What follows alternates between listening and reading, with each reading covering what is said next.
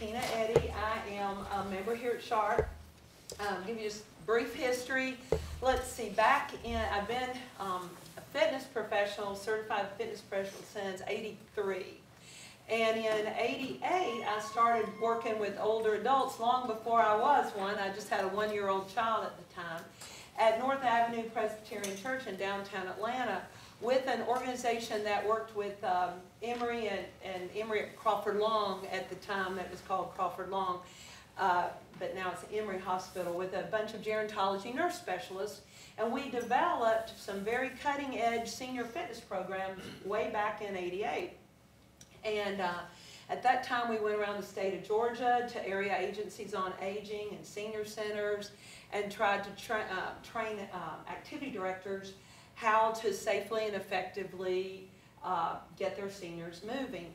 And at the same time, uh, was commissioned for about three fitness videos at various stages. Like um, we started out with a nursing home that had a component for the um, um, dementia and, and Alzheimer's units, how to get those folks moving. And that was actually very interesting. It was one of the, the most enlightening things um, that I've ever done is work with um, Alzheimer's uh, patients. And then we um, did um, a program for, there was a combination of seated and standing exercises, all the way to line dancing for seniors. So we kind of did the gamut and that was long before, you know, there was anybody really doing a lot of fitness training, but that was all through a grant um, at Emory Hospital. so I worked with uh, the senior population for about 12 years back then, which was where I was introduced to Tai Chi, Qigong, and um, the Alexander Technique. Is anybody familiar or heard of the Alexander Technique before? So I don't know a whole, um, I, I mean, I'm not trained to do it, but I did um, study under a guy for a while, and there's a lot of really cool things that, um, for spatial awareness, body awareness in space, that's helpful. So hope to give you some of those tips today too. Um, what I am not is a physical therapist or a medical professional. I am a certified fitness professional for over 40 years. So I say that to say what we give you today, what we talk about, you know, the movements that we might give you to help you kind of retrain all your systems. If you feel so, run it by your physician. I always say don't start anything new till you make sure your physician is okay with it or your, or your um, PA um, because I am not a medical person and your doctor knows your situation, your physical limitations or challenges more than I do.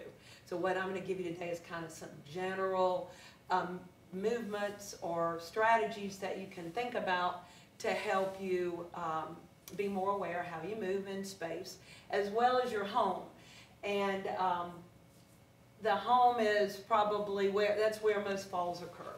So there are things that you may, you know, have had your home the same way it is when you were 60 or 55, and now if you're a little bit older, there might be time to think of changing some things and doing some things differently. So I'm going to kind of go over the home stuff fairly briefly so we can get to the meat and potatoes of the movement. But you've got everything that's on the slides um, in your handouts. There's two of them, and I wanted to share that with you as well as I did the slide uh, presentation, so if you want to take notes. But um, the biggest thing as we age, we have to kind of sometimes, and I'm the worst, George probably knows that, kind of have to let go of your pride and ego and what you've been used to doing. You got to modify. It's just the way it is. And sometimes we're like, I've always gotten that thing off the top shelf. I can get that.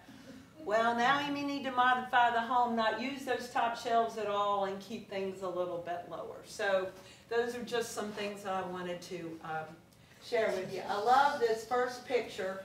I know you can't read it, but it says there are smarter ways to guard against falls than wrapping yourself in bubble wrap. so those two decided they're going to sit and wrap themselves in bubble wrap and they'll never fall. But probably if they did that and not move, they probably would fall. So the first thing we're going to talk about is a little bit of a home safety checklist. And like I said, your two handouts kind of have that. And I just want to briefly like pick out some um, points that um, I want to make feel free to say something, ask a question or whatever anytime. This is informal. And if I talk fast, it's because I've got a lot I want to cover, so.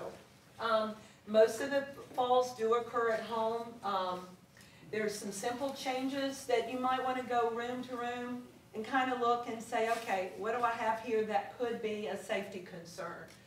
Most important, and, and I know I see it, is light. You need light in the dark, in dark hallways, definitely on stairs.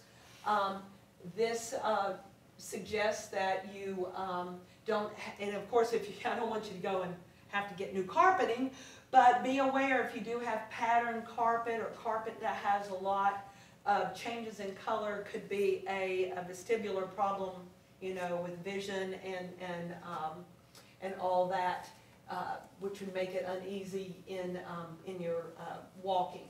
Enough light. Also, has everybody got railings on your stairs? If not, you at least need one. It's great if you have both. Um, keep um, flashlights around. We've got the wonders now of our cell phones having flashlights on them. But, um, you know, if the power outage, if power goes out, you definitely um, need to have flashlights close by. Um, bare wood steps, uh, put non-slip, non-slip treads on them if you, if you haven't. Um, no loose, uh, no loose rugs at the bottom of your stairs. If you're like me, um, when, I've got carpeted stairs where we touch, the, the floor is carpeted, but if you have wood stairs and then you have a wood floor at the top or bottom and have a loose rug, the only time, if you really need one, the only, the only thing I would suggest is, um, get the grippers. Have, uh, you know, you know what I'm talking about. The other thing you can use is shelf liners, like, you know, at Walmart or Dollar, um, General, you can get shelf liners and put those under rugs and they give it some stability. Do not leave objects on the stairs. And be mindful if you're carrying things up and down your stairs. You need to have at least one arm to hold onto the railing. If at all possible, don't go up and down the stairs. We, uh, with anything in your hand. Now, we do have a big dog, and we're gonna talk about pets in a minute, because they can, they can uh, the only fall I've had in the last two years, um, was because I have a black dog and the hallway was dark, and I thought he'd gone upstairs with George, and I go, turn the lights out, and go walk in the hall, and next thing I know, my glasses are knocked off and I'm on the floor. Well, I actually landed on his behind. But, um, I thought he was gone, I did not have a light, and I got in trouble. So, um, being mindful, so now there's a night light downstairs and I go, before I turn any lights off, turn the hall light on, then come back and turn my office lights and go, and make sure Charlie's not around. So, um, those are things on your stairs and steps. Any questions about that? That's pretty straightforward. In your bathroom, there's a lot of water in bathrooms, very, very big potential for uh, slipping and falling. Um, It's funny, we bought our house and when they remodeled it, they took all the grab bars out of the bathroom because, you know, I guess they thought that would make it not be as desirable. And we had to put all the grab bars back in because I needed it getting out of the tub and um, maybe near your toilet. Uh, It, it is what it is, that you need that extra assistance. Now, um, we talk about ways to strengthen your thighs getting up and off the toilet, so that can, that can help as well. Um, Glass shower enclosures, um, you know, I didn't think about that, but I guess most things now are non-shattering glass anyway. Um, if you do do a rug in, in, uh, coming out of the bathtub, do make sure it's slip resistant, um, non-stick, uh, adhesive in the tub or shower or uh, a mat. One thing that I didn't think of is mounting a soap dispenser, and I kept thinking, why would that be uh, a safety issue? And I suppose if you have a bar of soap, or you're pouring the soap in your hand and it falls in the, the tub, A, if it's bar soap, you gotta bend over and pick it up, and if it's um, liquid, it could um, cause you to slide. So a soap dispenser in the bathtub is uh, something to think about. If you're at a point where you do need a seat, if you're unsteady enough, um, they've got those portable seats you can put in there, and raised toilets. So those are pretty standard things. The bedroom, um, again, evaluate your rugs. Do you have, uh, rugs that are trip hazard? You know, you may have a nice rug and if you've had it a while, you know, the corners start to just curl a little bit if it's, so be aware of that. Either take that rug up and replace it with a new one or do, um, put you a sticky something to keep those corners or put those corners under piece furniture. Um, sleep on a bed that's easy to get in and out of. I know, you know, you may like that nice fancy high bed, but it might be time to take it a little bit lower. Night lights are critical, um, to getting up. uh, does anybody not ever have to get up and go to the bathroom in the middle of the night? I didn't think so. So that's where things get really, uh, really, uh, tricky and risky. Be sure that you do have light to see. Um, keep your telephone, um, near your bed. And also another thing is if you get up, take a few minutes, just get, set on the edge of the bed or the side of the bed before you get up. Give your equilibrium, everything a chance to sort of, okay, I'm awake enough to get up and go to the bathroom. If you do go to the bathroom, um, do you go barefoot? Do you have stockings or footies on? Or do you try to put some kind of shoe on? These are my household shoes. I don't like slingbacks, I don't like clogs, no flip-flops. Um, closed back shoe, this is a Skechers, it's got pretty good, this only stays in my house. So when I get up at night or whenever, this is what I put on, because it gives me a little extra cushion, it's got some grip on it, and, um, they're just really a good, safer shoe. Just a thought on that. Um, a lot of bedroom slippers they make really don't have good soles underneath them. So be sure that you don't have a shoe that's gonna cause you to slip. Um, definitely never on socks or stocking feet, please. And be sure all your electronic cords are secured against the wall or, um, under the furniture. Do not put your electronic, um, cords under a rug. Make sure they're against the wall. Nowadays, you can even buy all these little things that help you organize them and put them against the wall. Um, so be sure those are out of the way and not, um, a trip hazard. Um, we're gonna get to pets in a minute, but they can be under your foot in the bedroom too, and we'll talk about that in a minute. Living room, a lot more, that, there's a, a lot, just go home, look at your pathway, is it clear? Where you normally go from kitchen to living room to bathroom, uh, to bedroom, is the path clear? No loose rugs, um, you know, if you can go, if you have a hardwood floor or carpet and you can go without an additional rug, it is safer that way.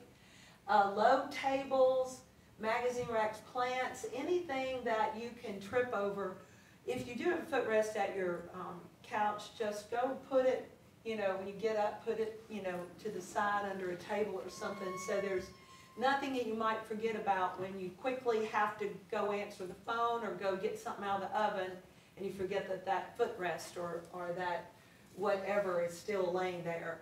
Um, we talked about cords, carpeting, um, if it, indeed you have concrete, ceramic, or marble floors, you do need, um, something, like maybe a big rug, or something just helps give you a little cushion, because if you do fall, it's a little bit of a padding. Um, and, and you gotta determine carpet versus hardwood floors versus marble and rugs on it, what is best and, and easiest for you. Um, throw away wobbly chairs and ladders, and, uh, setting does anybody ever have trouble getting up and out of a chair or a couch when you visit somebody if it's really, really low? So try to at least keep you a ninety degree angle or greater, um, when you're setting.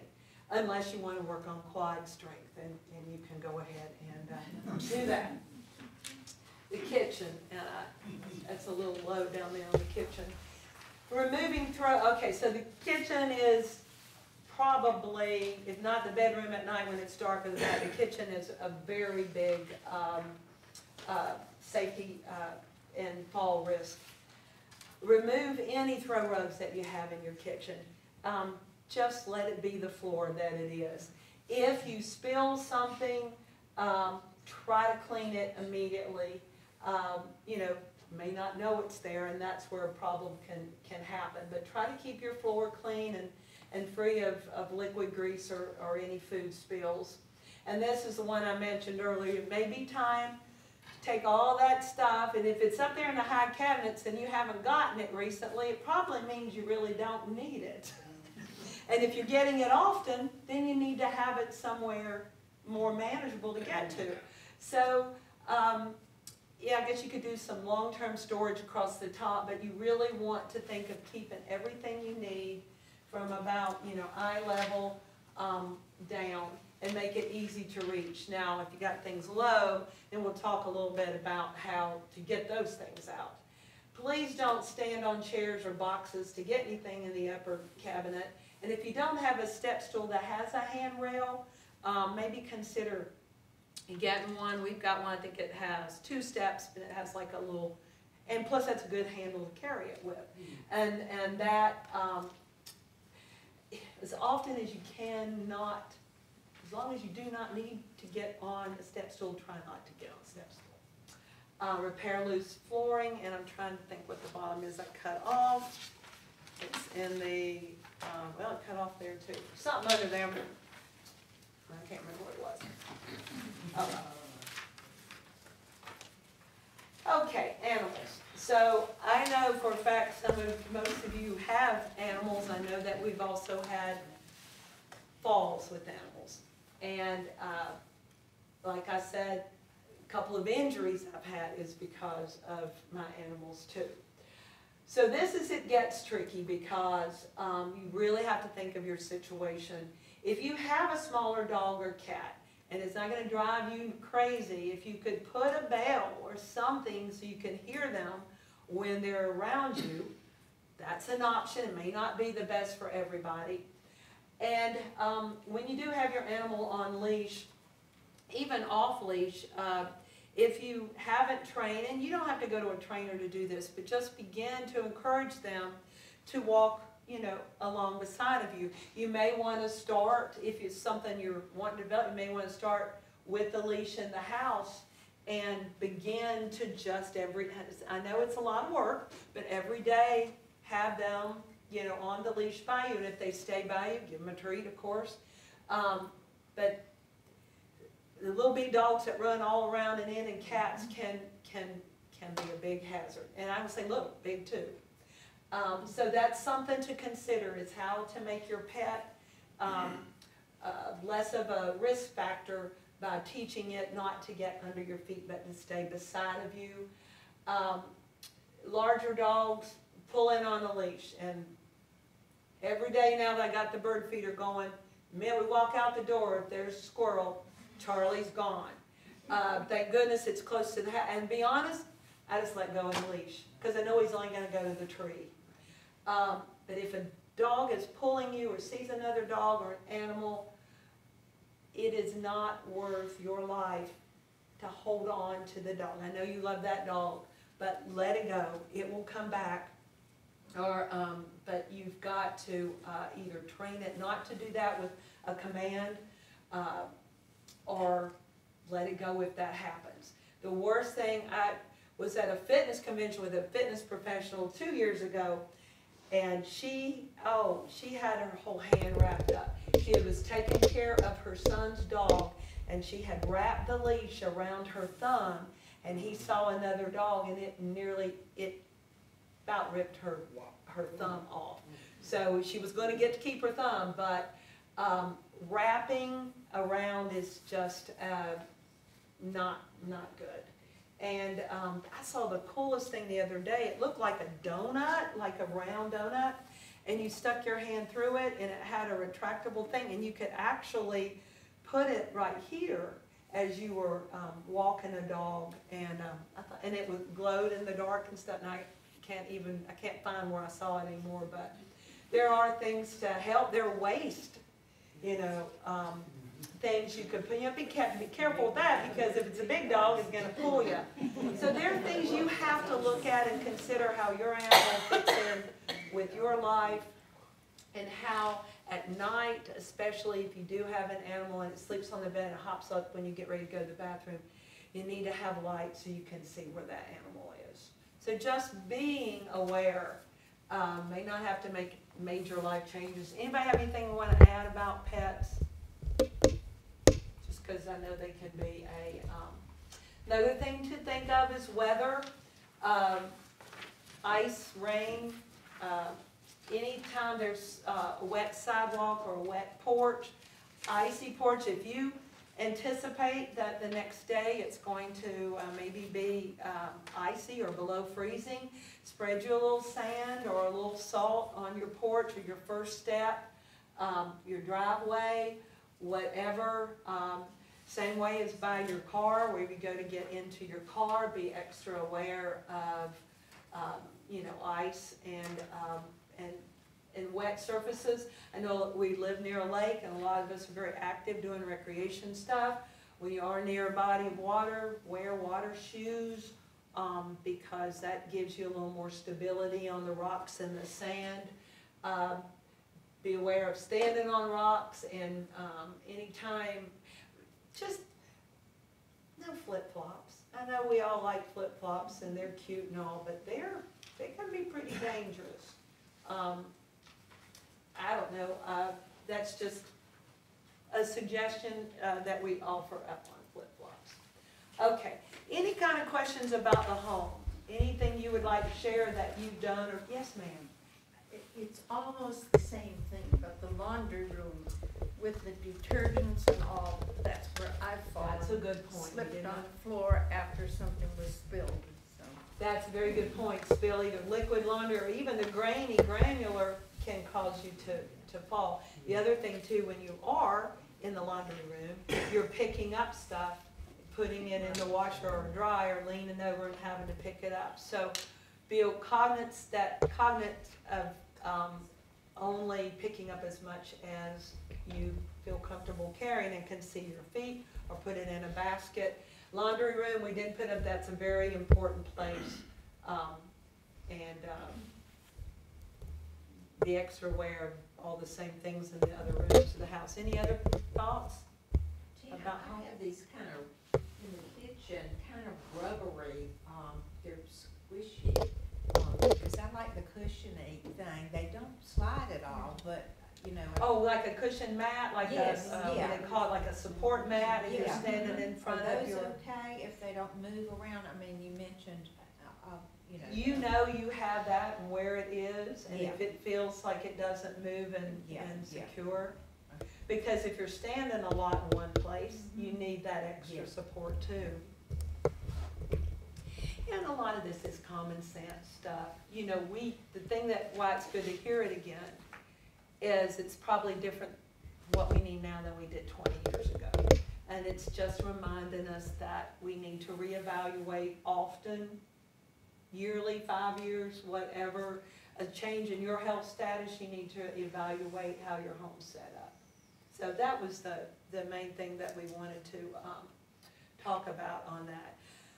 Okay, falls in older adults. One in four Americans over the age of sixty-five fall a year. How many people have fallen in the last year? Just raise your hand. So whatever the reason, it's very prevalent as we age for a number of reasons. Every eleven seconds, an older adult is treated in the emergency room for a fall, and this is one that just breaks your heart. Every nineteen minutes, they die from a fall, and that's probably due to a head injury, more than likely. Um, falls are the leading cause of fatal injury and the most common cause of non-fatal admissions to the hospital. Five types of aging. So, um, not only do we get older chronologically, but we also get older a couple of other ways. So yes, you have your years, and we all know that the body declines through the years. Um, muscle ma- um, muscle mass decreases about, um, ten percent every decade. Sometimes after, I think it's after seventy, you have a greater decrease each year. But functional, so a functional aging. That means that it's harder to do your activities of daily living, the things that you're normally needing to do. Cook, get up off the toilet, get in your car and drive. Those things can all um, become a little more difficult. Biological, and that's physical functioning. It's a little different than functional. Biological is just your health, kind of your hereditary, you know, arthritis, uh, osteoporosis, different types of things biologically that are changing in your body that make you age differently as well. Psychologically, we know that there's cognitive issues as we age. And then social aging, and you probably didn't think of this, but I mentioned it when I said pride and ego a little bit. You have to begin to accept where you are now and be able to feel comfortable with that. Uh, have your own uh, self-efficacy, knowing that it's okay to make these changes. It's okay that things are happening because um, it, it is what it is. So, and, and two, I think the last two years have been hard on our aging socially because lack of it, you know, with um, uh, COVID and what we've gone through. So, you know, you may have even a different perspective about getting out socially. And um, that, you know, that is an aging change as well, believe it or not. Okay. So after the age of 62, there's a marked decrease in walking speed associated associated with the dysfunction. Maybe your mental and physical health has changed. It can create a loss of independence and a higher mortality risk. And um, after the age of 50, there's a tendency to, to lose muscle mass. That's called sarcopenia. And what that is, is if you don't use it, you lose it, but also aging and hereditary, your muscle mass starts to decrease. And with that comes um, issues with strength, um, which with fast and slow um, twitch muscle fibers, which we'll talk about in a minute. Women are especially prone to it because we don't have a lot of testosterone, and after menopause, there's even less. So testosterone is what helps us build muscle mass. So we have to be extra conscious of our um, strength and keeping ourselves strong. So, and these changes, uh, okay, so there's multiple systems that contribute to your balance and mobility. So your sensory systems, that is your hands, your feet, it's touch. It's things that help you determine um, your current actions versus uh, helping you respond. For instance, you put your foot out and um, if, you, you know, neuropathy can cause you not to feel the ground the way you might normally feel it or pick your foot up uh, as well as you need to. So sometimes there can be changes in our sensory system.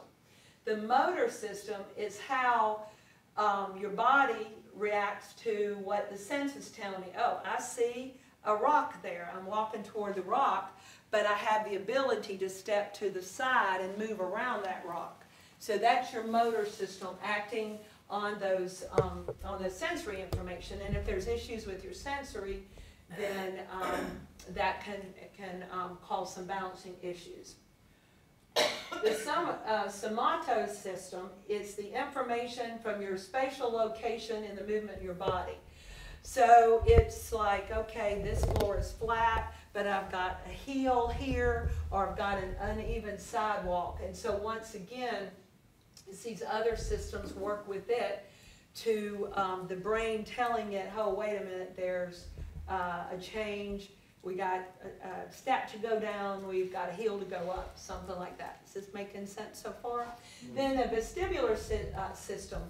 Now that's the eyes, the equilibrium, the balance, if you've got vertigo issues or maybe dizziness from medication, bad vision, cataracts, that's all the vestibular system. And that's um, where it determines uh, to the world is your body moving. Have you ever sat in your car maybe at a stoplight and it's raining and it's moving and, and rushing down the road and you're not sure for a second whether your car's moving or the water. You know, those kinds of odd things, you're like, wait a minute, and you put your foot on the brake again, I've done that. So that is that visual, the, the whole equilibrium thing to help you determine, hey, am I moving, or is the car moving, or something else moving? Okay, so age-related changes to the balance system, and I kind of just went on that briefly. Um, but changes in your visual system can affect your ability to perceive those changes in the surface, um, or hazards in your environment. The vestibular system becomes critical for balance when your eyes, um, and, uh, is absent, or your vision is off, or also your, uh, somatosensory system is distorted, or there's conflict. Uh, and these things can go off through things like vertigo, like I said, medication can throw, you know, um, your body off. Um, you know, cataracts, what else? Uh, just um, aging changes in your body and what you, um, uh, well, we're talking about neutral posture here in a minute. Um, between the age of 50 and 70, muscle strength declines as much as 30%. So technically about 10% a um, decade, 1% a year. Um, okay, any questions so far? All right. But there is something we can do. It's not a lost cause. No matter where you are in life, you can make some changes. Some of it's awareness, some of it is physical strength and uh, flexibility and balance training, but you can make a difference.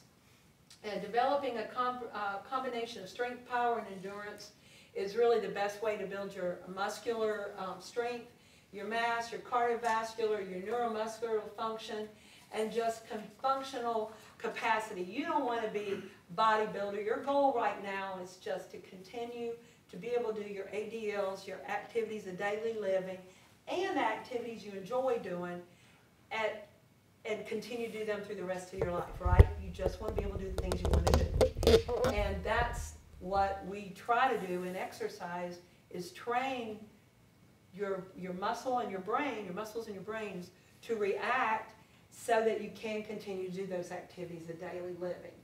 And um, one of the things I mentioned, and I think I'm probably going to mention again in the middle in a minute, but while my brain's there, it talked about power. Um, so as we age and our muscle mass decreases, we tend to kind of just slow down overall. The things that we do are slow. We just, everything is a little bit slower. The big component of really good balance and aging fitness program uh, is to work on some quick movements. Some, uh, they call it fast twitch muscle fibers. If we're used to just everything going slow, then your reaction time will slow down, right? But if I picked up this ball and I threw it to you, your reaction time is a fast twitch muscle fiber response. So if you threw it back at me or I kicked it and the ball comes to you, believe it or not, this is one of the most, for Alzheimer's and dementia, we would sit in a circle and throw a ball to each other. And you may not be able to have really good cognitive, but you can react and catch that ball. And by doing that, you're continuing to keep that that response, that reaction time, because you need that to catch yourself if you accidentally, you know, um, find yourself having to shift your balance. So, um, in Tai, and you know, guys that did the Tai Chi class, you know, will sometimes do a quick kick, or you can do a quick punch and then slow. You gotta have that fast twitch muscle fiber movement now and then. And if you don't do it every day, I challenge you to begin to put some of those fast movements in with your slow movements, or like a walk, walk, one, two, three, or you know, it can be this slow and just one, two, three. You've got to challenge and keep those those fibers um, stimulated and strong. All right. So, um, balance ter terminology, the process of controlling the body's center of mass with respect to the base of support. When you're moving or uh, stationary, um, is sometimes called static balance and dynamic balance. So with center of mass, okay, um, where do you think your stability, your, your center of, all my fitness people probably know this answer, but your center of mass, your center of gravity, where is it? Does anybody that's not a fitness regular take class kind of have an idea? So you're saying up here. Your center of mass is two inches below your belly button. This should be from whence you walk. This is where you walk from. You don't walk from up here, you walk from down here. This is what moves you. This is where your mass is. Not because you got big hips and thighs, but because you've got a, a large pelvis bone. This, if you look at a skeleton, this is where your center of mass is. And what's kind of good about that, it's closer to the floor, so it's a lower center of gravity. Your base of support is where your feet are over this center of mass. So you've got, and I like to call it center of gravity, um, but you'll see it on here as COM. Um, so when I have my center of mass and my base of support is wide, I got a good, solid, you know, base of support under me. When I bring my base of support closer together and I got my mass, then I got a little bit bigger sway issue that I'm um, dealing with keeping my balance on, which we're gonna get y'all up and practice some of that. So that's a little bit about balance. Posture is a biomechanical alignment of the body parts and orientation to the environment. So this is where things get a little tricky depending on if you've got osteoporosis or you've got any, any bone issues. But your posture should be what's called neutral posture. And again, if you think of stacking, ears over shoulders, you know, shoulders over hips and, and sort of a relaxed um, lower back. And then your hips should intersect right behind the back of your knee, and that should go over the arch of your foot. So that's neutral posture, chest open, and eyesight straight ahead, um, chin level. In an ideal world, you could stand like this forever. You know, horses and cows and all that that stand up all the time, they've got an extra little, they have a locking mechanism in their, their legs to keep, or they can sleep upright. We don't have that. So you don't want to lock your bones, but you want to have everything relaxed and neutral so that if you were picked up by the top of your head, your body would just dangle naturally under one another. And we're going to get up and practice posture in a minute too. Anticipatory postural control is when you're planning what, you know there's a mountain and you know there's a little creek to walk over. So you're anticipating that, so you know it's there, so what am I gonna do? I'm either gonna go around the creek, or I'm gonna take a big step with my hiking poles and go over that creek. Um, you're anticipating there's a postural change coming. Reactive is you're going along and all of a sudden something runs out in front of you, or you don't see a brick sticking up out of the sidewalk, and oops, you are on top of it, and you've gotta react. You either gotta quickly move to the side or step over it. So do you see the difference? You can plan something, you look out ahead, you know what's coming. But when you don't, you gotta have the ability to relax, to react. And that's where that fast twitch uh, muscle fiber from your brain to your uh, motor system comes in. Stability limit, the maximum distance an individual is able or willing to lean in any direction. And we're gonna practice that in a minute. As well as the sway envelope, which is the path of your movement during quiet time. Mobility is the ability to move independently and safely from place to place. Kind of goes hand in hand with flexibility, but, um, all right. So, I'm going to ask you um, to stand up if you're comfortable, and we're going to talk a little bit about these strategies, and I want you to kind of see. You don't have to go away from your chair. Actually, if you're a little bit unsure, I would make sure that you got your chair there with the hand on it or stand to the side. Um, I just want you to feel like you got something there if you need it, because what we're going to do is try to get you off balance a little bit. So you need your chair if you're not comfortable with that. Okay, so these are postural control strategies. They're things, it's more or less assessing where you are right now and helping you realize just where maybe your limitations are, but at the same time, um, help train your brain to use these different strategies if it becomes off balance. It also can be used as an actual, actual exercise itself to help you.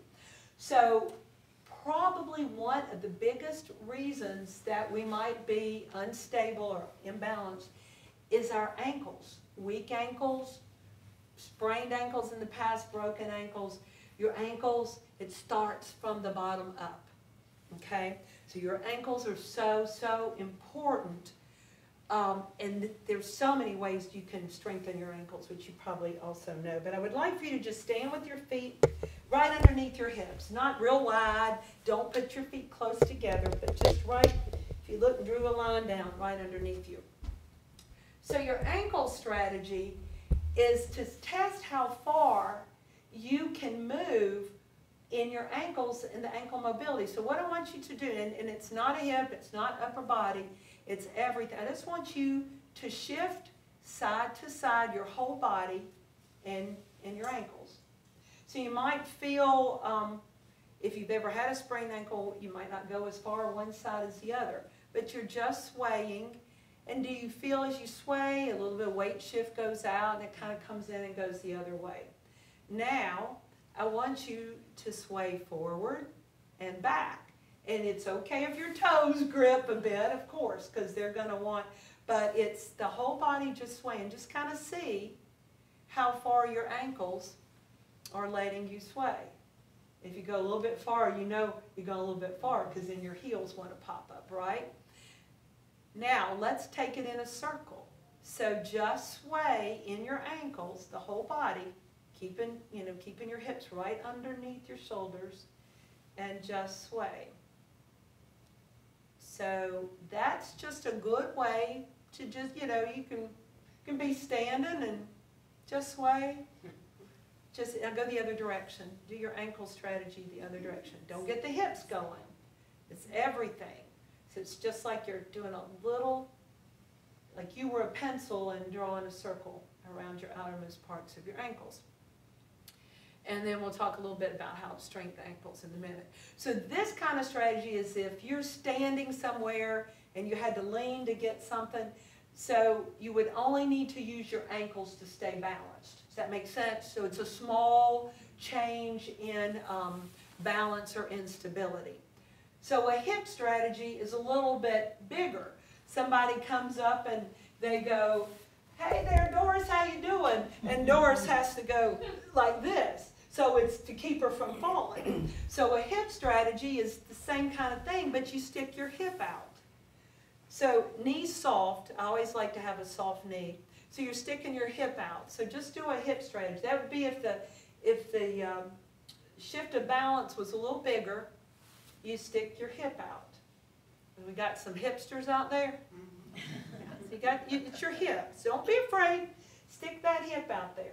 This is actually one of the number when I used when I was younger working with um, the seniors at the time. Um, we would do these kind of silly things, you know, and little rock in the hips and rock around the clock. And while you know some of the more proper ladies were like, "I'm not going to do that," this is so fundamental to your strength and mobility.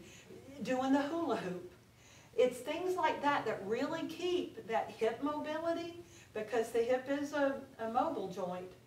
And um, don't be afraid to put on a little Elvis and go for it. You know, just turn, you've got to move the hips, but this is hip strategy. You lose your balance, you got to remember, oh, I can stick that hip out there and I won't fall. Okay? So it's a little bit bigger loss of balance than ankles. Now, a step strategy. And that is someone really pushes you or whatever, and you got to pick a foot up and step it out there to, step, to catch your balance. So it doesn't have to be real big, but just I want you to practice the step strategy. You Feel like you're losing your weight from your ankle, and you got to put your foot there.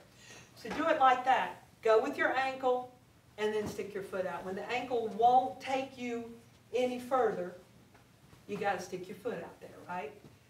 Um, probably most of y'all are practicing with one foot. Don't try the other. So this is just forward. So we're just losing to the ankle, and we got to put the foot there to catch us. Let's try it side.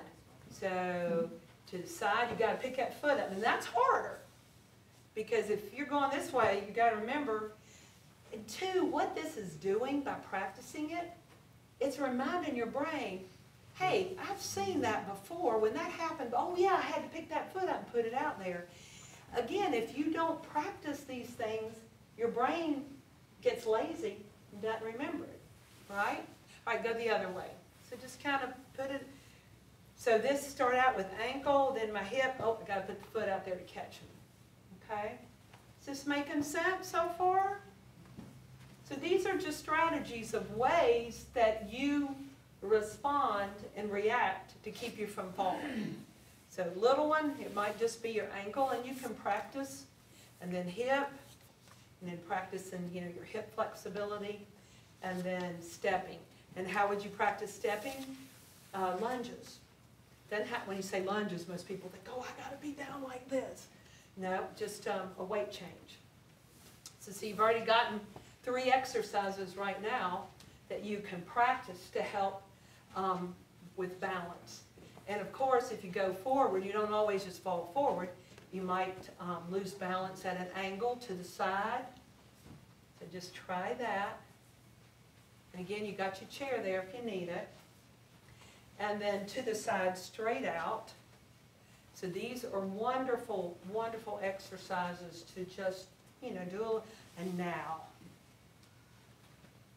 big one, step back and forward, yeah. Step back. You've gotta train your body to be comfortable stepping back, and that also helps strengthen some of those anti-gravity muscles. And you have to do it fast, You've got a chair there, but we got to step back. Because when you start to go like this, the brain's, wait a minute, what do we do? Oh yeah, we put a foot out. It's reminding your brain what it needs to do when you lose balance back. Y'all are good, let's see. Okay, you can sit down for a few minutes before I get you up again.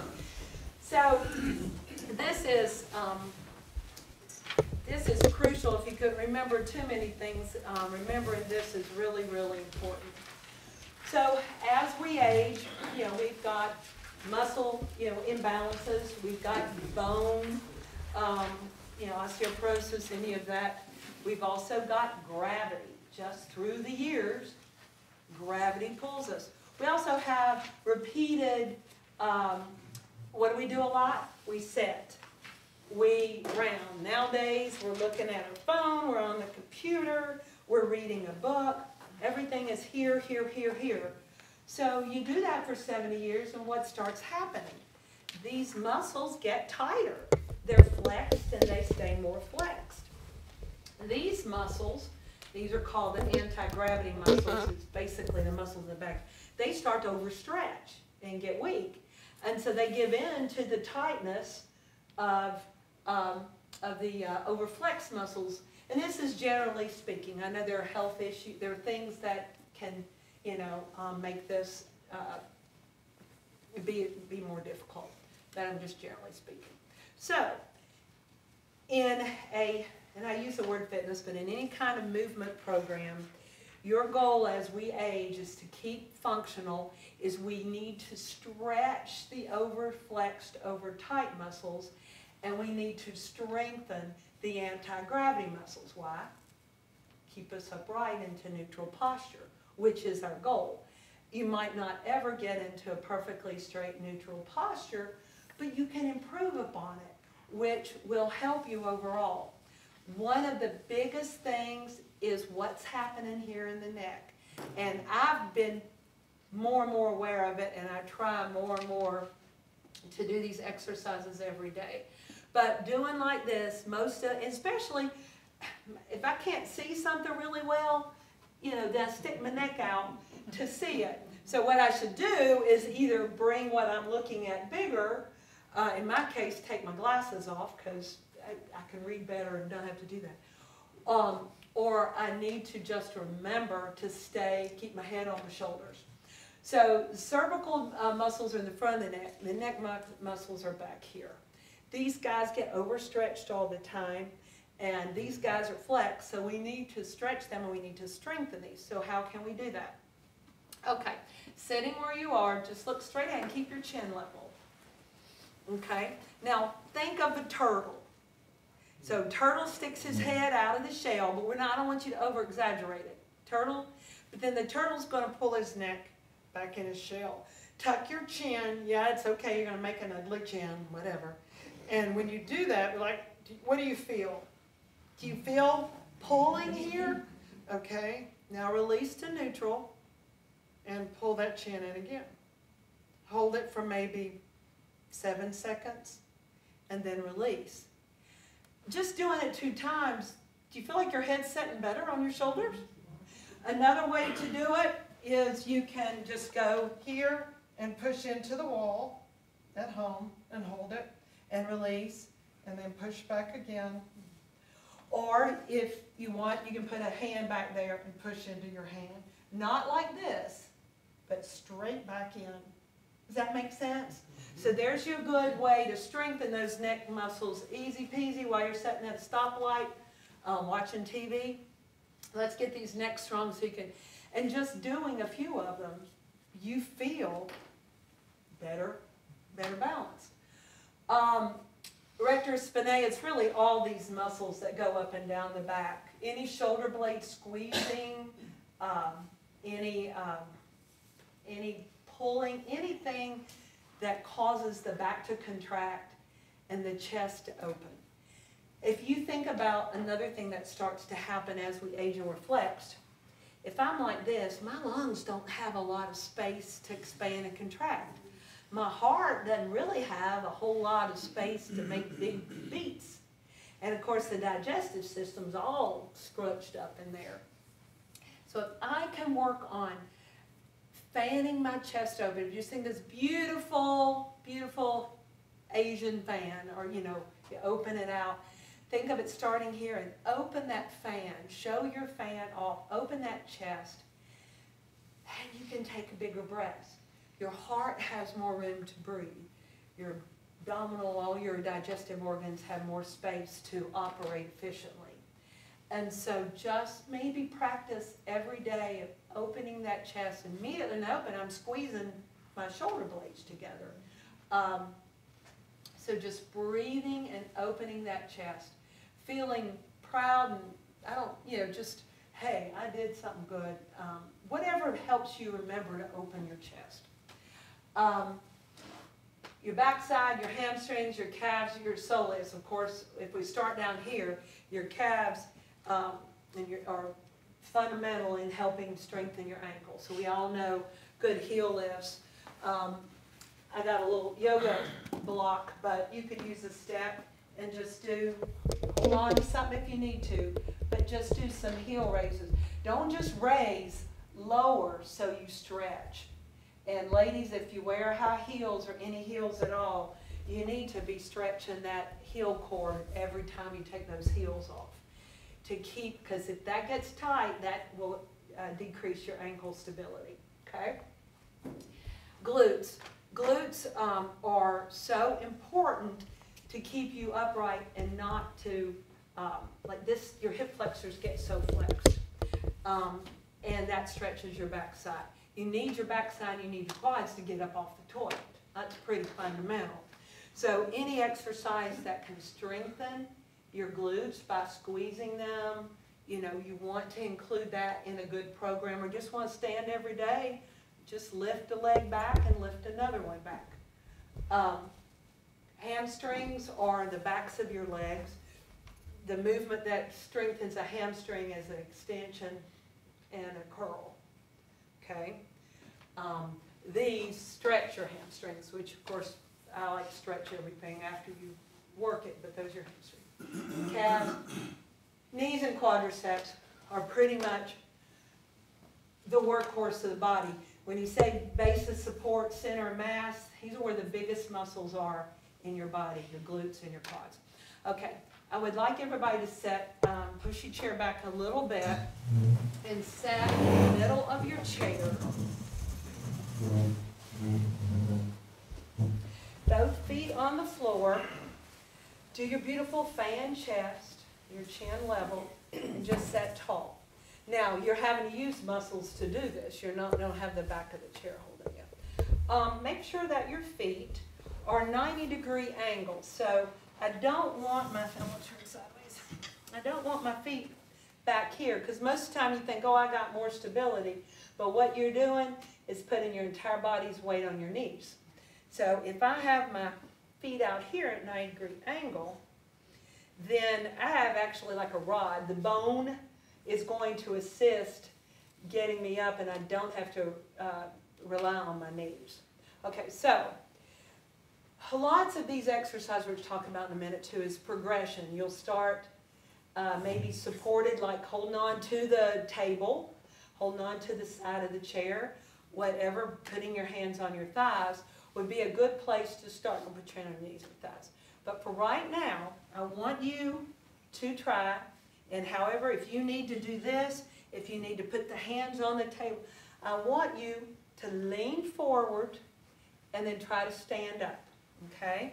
However you need to. If you need to use a cane, okay. These chairs are so low. The chairs are low. The good news is they're cushiony, but they are low. So that's a way to safely, it's also a good exercise. Do these, practice it to get this stronger.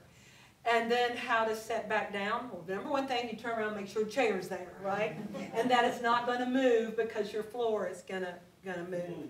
So you have a couple of ways to set back down. You, um, get in kind of a squat position, but you bend the knees and stick your backside out.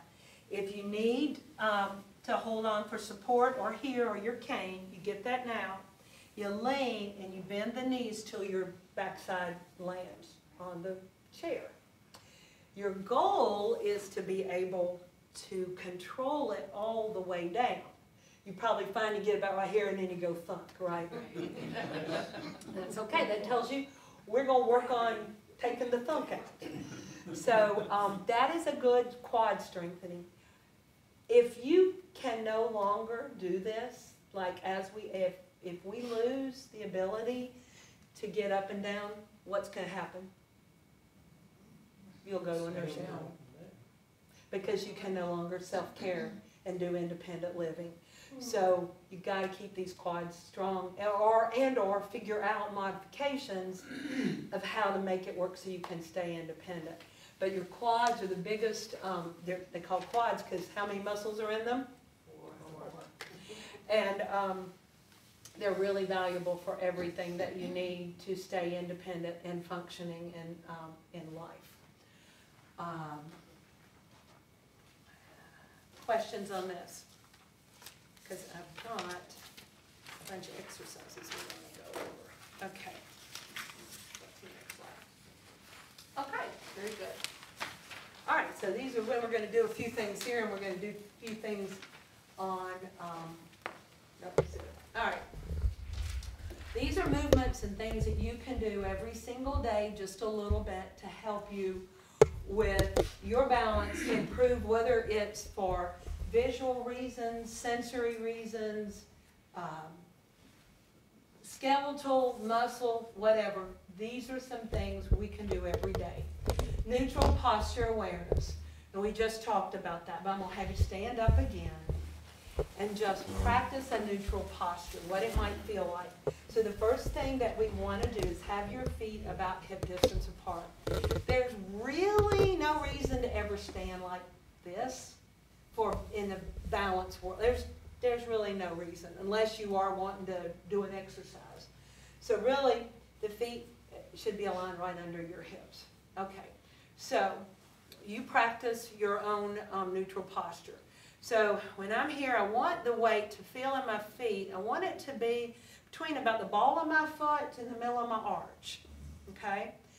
Knee joint is soft, not bent, um, but it's soft because once you lock, look, look what happens. Once I lock my knees, my pelvis, my lower back, so keep the knees soft, meaning just don't lock any joints. And then what's happening here is if you just think, you know, of your spine and picture of it, you want to think if it were a plumb line and you had a weight on your tailbone, that weight just would kind of gently rock downward toward the floor, okay? abs are in, and you almost think of your abs coming in and kind of tucking under your rib cage, but they're not, you know, remember the old fitness used to go like that. It's not that, but it's just, it's like you're hugging your spine. So let your abs hug your spine. And then let the chest be open by pulling and lowering the shoulder blades so they're kind of right over the hips and the arms are just here. Um, chest open as opposed to the, and you know, and I know, I'm aware there's a lot of physical, you may not be able to do that, but you can do a little bit better than where you are now. Think of chin, level, and your eyes. Your eyes need to be looking straight ahead. You may think they don't need to, that you need to be looking at the floor, but if you survey where you're going ahead of time, you know what's there, you can look ahead. You know, when you're driving in a car, you don't just look at the little bit of road in front of the front of your car, right? You look down the road to anticipate oh, there's going to be a turn coming soon. Um, and granted, yeah, a car may jut out to the side you've got to be aware of. But same way when you're walking and you're looking, you really need to keep that neutral posture and look out as best you can. All right, that's neutral posture. Practicing stability strategies, that's what we did. Ankle, practice the hip, and then go a little further and practice the leg, um, the step strategy with each leg, front, side, back, okay? Um, transferring supported progressing, progressing to unsupported.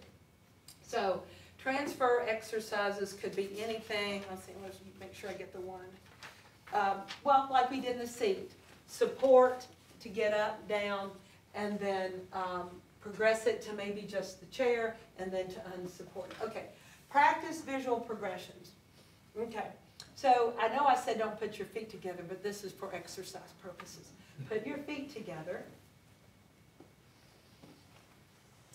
Try to get your neutral posture. Now close your eyes. Do you feel a sway? A little bit less stable, right? And open. So that tells you how important your visual sensory is. Um, so, but you need to practice that so that your body and brain can be aware that my visual could be off. Okay, open your eyes, stand here. Now just look right. Come back to center, look left. Come center, look up. Not, not using your head, just your eyes. Look center and look down. Okay. Now turn your head right. Come back to center. Are you feeling your ankles wobbly a bit maybe? Turn left.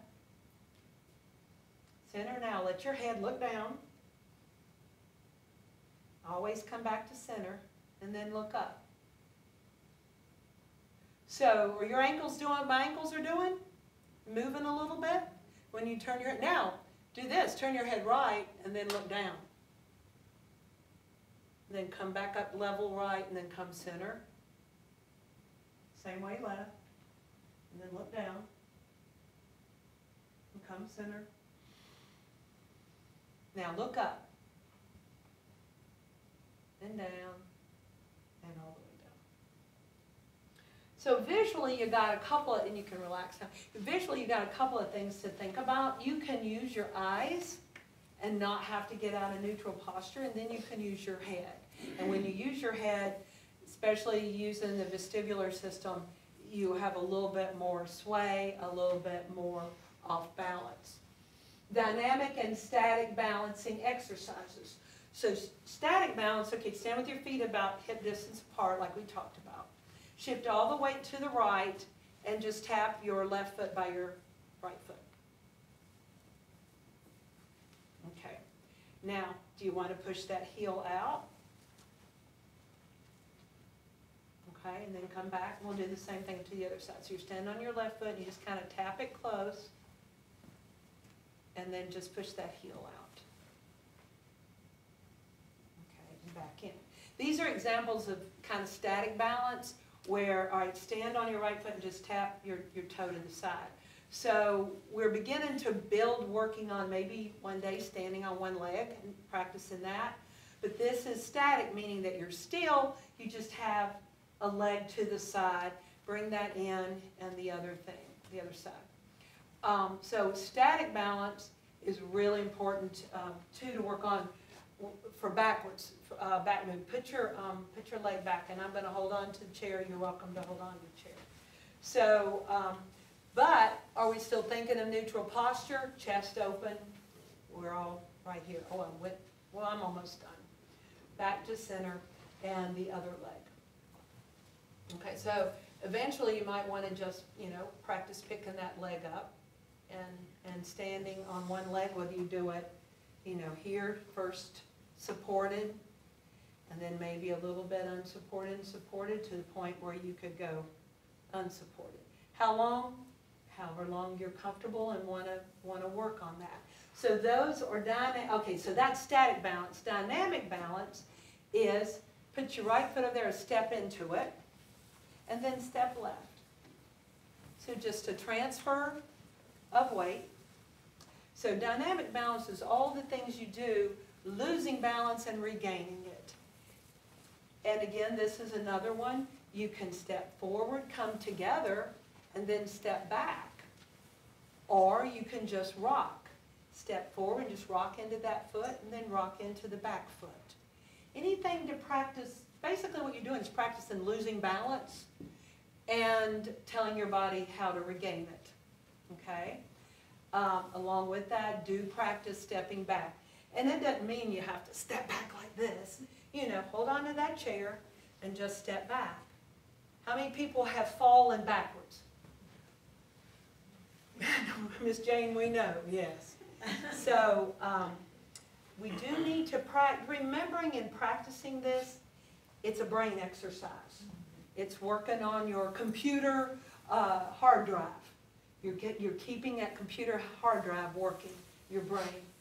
Um, anti-gravity muscle strengthening exercises, and I've got things like, like these bands. You know, if you've been in my class, you probably have one of these at home.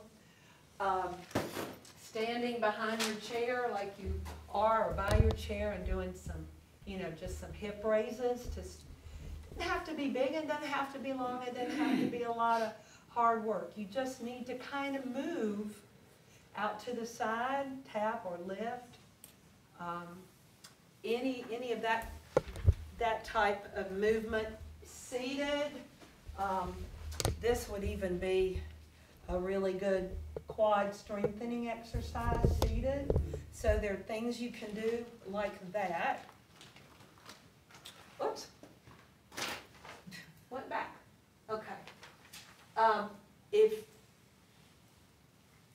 when we get, I've got a lot of those inspired fitness classes on YouTube.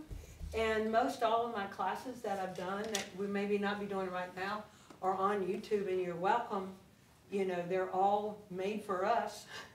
And um, they would give you a lot of this information and these, these types of anti-gravity. And then overuse and overflex muscles. And again, that just means open your arms. Let's give everybody a big hug. Make it as big as you can. Do you feel that awesome stretch that goes all the way across? Good. That is a, an overflex or overused muscle in the front of the body.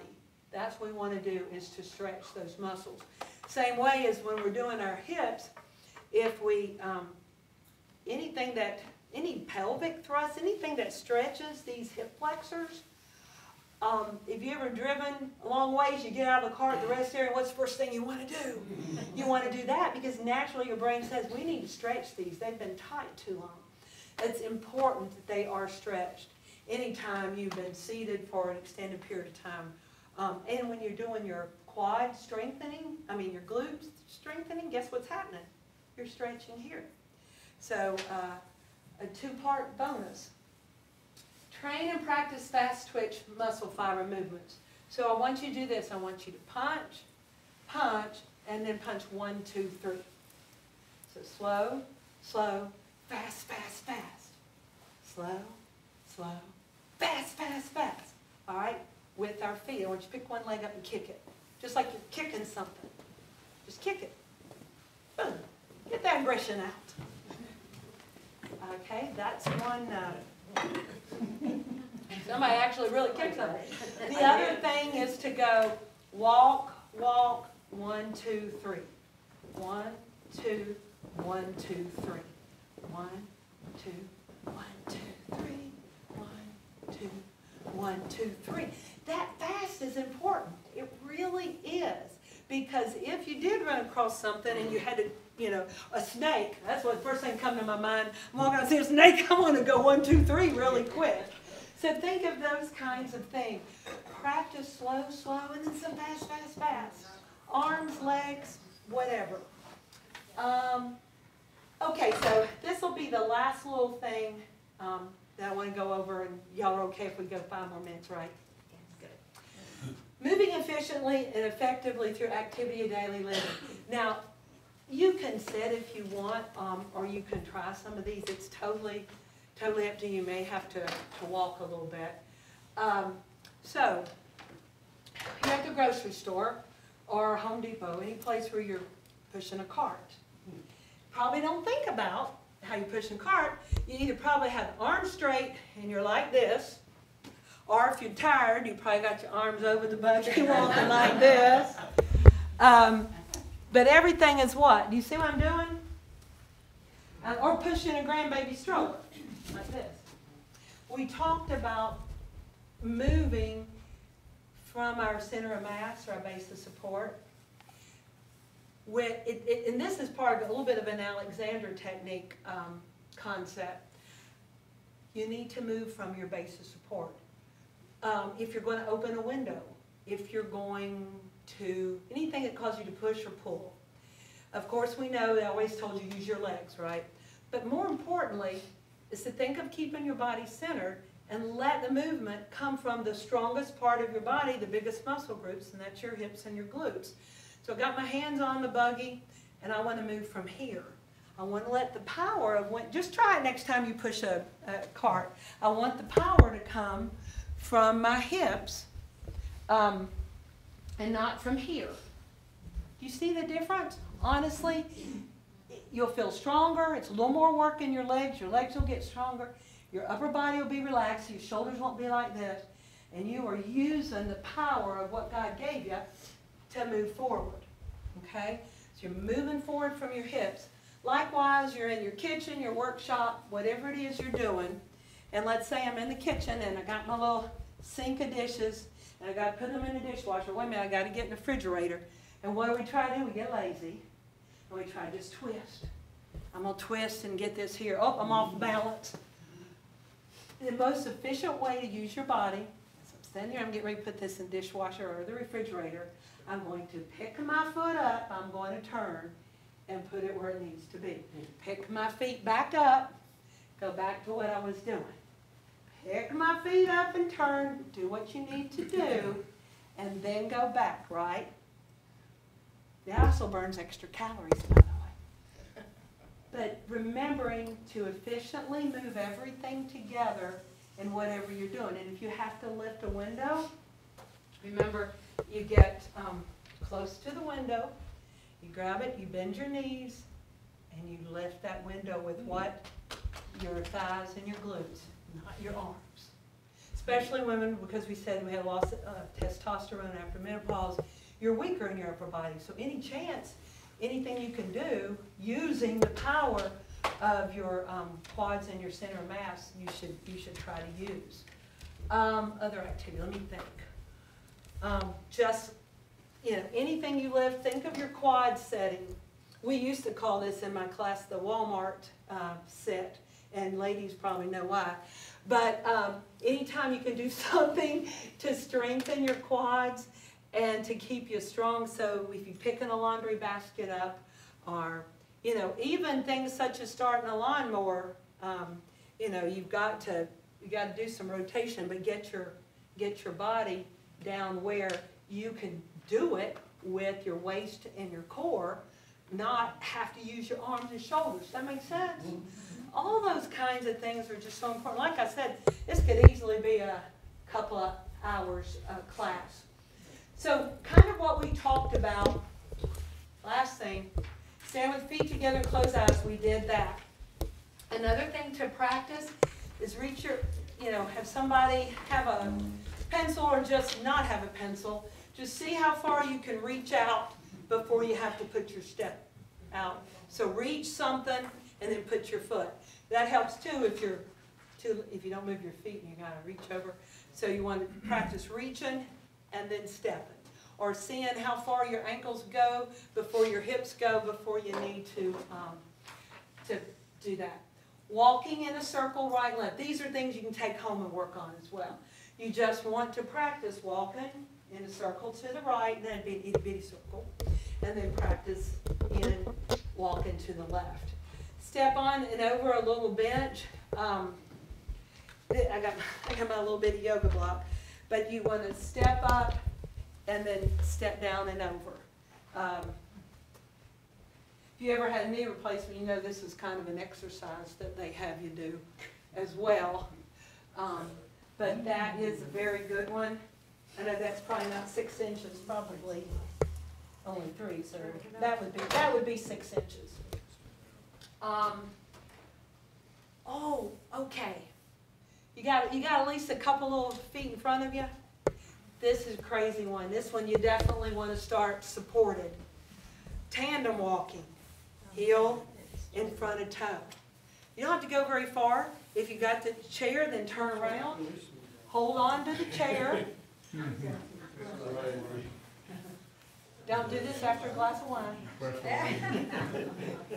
But, um, do it and don't look down. Keep your neutral posture, chest open. Hold on to something, because that's definitely something you probably have not done this in a while. And then turn, as long as you got your chair, and tandem walk. Then, as you get stronger, you're gonna hold your arms out. As you get real strong, walk tandem backwards. But it's stuff to practice. Don't have to go to a special fitness class. Don't have to do anything special. Just have to work on those little things. Standing on one leg is a good one. Standing on a piece of foam. They were just mainly saying like a pillow. Stand on a pillow one leg. Because the in- instability of something soft like that, you can feel that ankle working. Very good for the ankle. Jump with both feet for distance. I probably won't do this one because I've got knees that are issues. But you could just practice, if you're comfortable, practice jumping and see how far you can jump. And walk while turning your head, and that is a good one, because how many people just go through life walking like this? Well, you don't. So practice turning to the right and walking. And then practice turning left. And then practice turn a little bit right, a little bit left, a little bit right, a little bit left. And you can give that queen walking. Um, practice walking and, and looking down and up and looking down. You see how I'm going in a circle? So these are all strategies, the things that you can do will really help you. And restore balance after backwards disturbance, just meaning step back and, you know, practice stepping back. Okay. Has this been helpful? Yes. Okay, thank you. Well, a little bit more than an hour, but I wanted you to see some practical applications, just some simple things. If, if anything, take away is evaluate your home to make it work for you in a way that there's not any risk hazards. And train, do movements that train your brain and your muscle fibers. You want to train your brain to remember what it needs to do if you lose balance. And also do some fast and slow stuff. Walk slow, then walk fast. Do some quick, quick. But you gotta, you gotta keep those fast twitch mu- muscle fibers going. And you can come to my Tai Chi class. This Tai Chi is awesome because it just, everything about it is balance and, you know, um, low center gravity, center support. So anyway, thank you guys. We can do a follow-up if we, if there's, there's plenty more stuff we can talk about. But we gave you a good, a good foundation, I think, and the handouts will help. And even if you just remember one or two things and practice it, then it's been a success. Thank you all so much. Thank you. Love you all. Thanks for coming.